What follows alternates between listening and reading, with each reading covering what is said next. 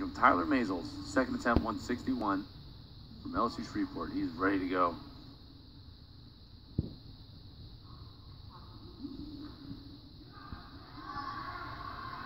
He's eager to get out there and lift his weight.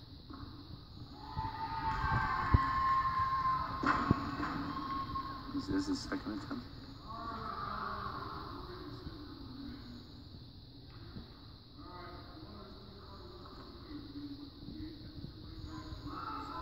Nice and steady under the bar.